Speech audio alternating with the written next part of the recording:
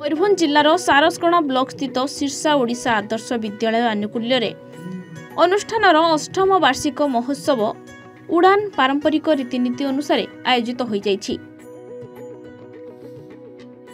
ଦୁଇହଜାର ପନ୍ଦର ଏପ୍ରିଲରେ ନିର୍ମିତ ଏହି ଓଡ଼ିଶା ଆଦର୍ଶ ବିଦ୍ୟାଳୟର ପାଠପଢ଼ା ଦୁଇହଜାର ଷୋହଳ ଠାରୁ ଆରମ୍ଭ ହୋଇଥିଲା।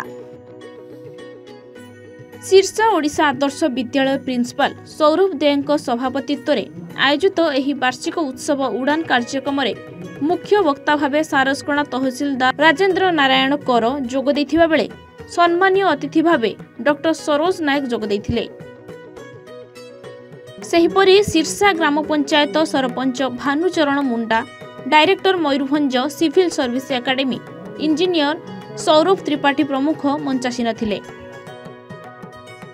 ଛାତ୍ରଛାତ୍ରୀମାନଙ୍କୁ ସମ୍ବୋଧିତ କରିବାକୁ ଯାଇ ଅନୁଷ୍ଠାନର ପ୍ରିନ୍ସିପାଲ ବିଦ୍ୟାଳୟର ବାର୍ଷିକ ବିବରଣୀ ପାଠ କରିଥିଲେ।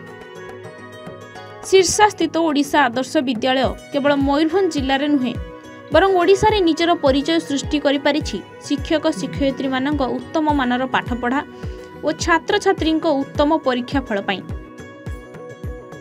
ଚଳିତ ଶିକ୍ଷାବର୍ଷରେ ବିଦ୍ୟାଳୟର ଜଣେ ଛାତ୍ର ବାର୍ଷିକ ପରୀକ୍ଷାରେ ଛୟାନବେ ପ୍ରତିଶତ ନମ୍ବର ରଖି ଜିଲ୍ଲାରେ ଦ୍ୱିତୀୟ ସ୍ଥାନରେ ରହିଥିବା ବିଦ୍ୟାଳୟ ପାଇଁ ଗୌରବ ଆଣିଛନ୍ତି ବୋଲି କହିଥିଲେ।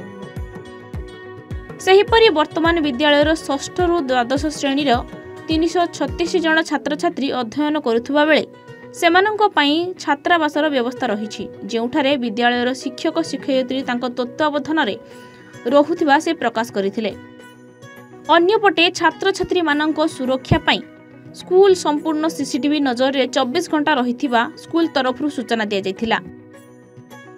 ତେବେ ଏବେ ବି ବିଦ୍ୟାଳୟରେ କିଛି ଅସୁବିଧା ରହିଥିଲେ ସୁଦ୍ଧା ଛାତ୍ରଛାତ୍ରୀମାନଙ୍କ ମାନସିକ ଓ ଶାରୀରିକ ତଥା ବୌଦ୍ଧିକ ବିକାଶ ପାଇଁ ଆବଶ୍ୟକୀୟ ଥିବା ଖେଳ ପଡ଼ିଆ ନାହିଁ ଯାହାକି ନିତ୍ୟାନ୍ତ ଆବଶ୍ୟକ। ଏହାକୁ ପୂରଣ କରିବାକୁ ତହସିଲଦାରଙ୍କୁ ଅନୁରୋଧ କରାଯାଇଥିଲା। ମୟୂରଭଞ୍ଜ ଜିଲ୍ଲାରୁ ମଳୟ ନାୟକଙ୍କ ରିପୋର୍ଟ ଏ ଓଡ଼ିଶା